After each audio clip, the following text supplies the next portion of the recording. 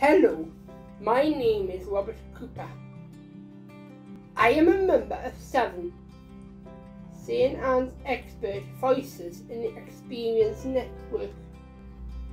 I'd like to tell you about a project to help us understand more about what an unsafe swallow is and how can we help people stay safe if they have an un unsafe swallow and lead happy, healthy lives.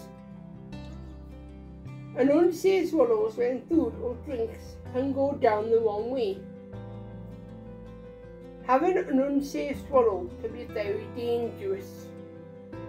Some people who have an unsafe swallow don't know they have, or, or sometimes their carers don't know.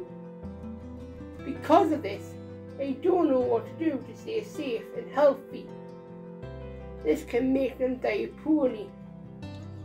Sometimes they can get very bad chest infection or pneumonia. Some people die, could die because of this. Many more people with learning disabilities die from getting poorly because they have an un unsafe swallow than other people. This is a health inequality. It is not fair.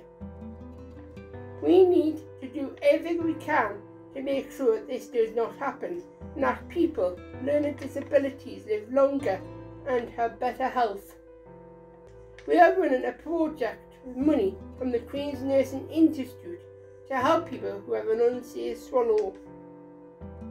Our project will help us to know what an unsafe swallow is, to help carers tell if someone they look after has an uns unsafe swallow. To train carers how to keep people safe if they have an unsafe swallow.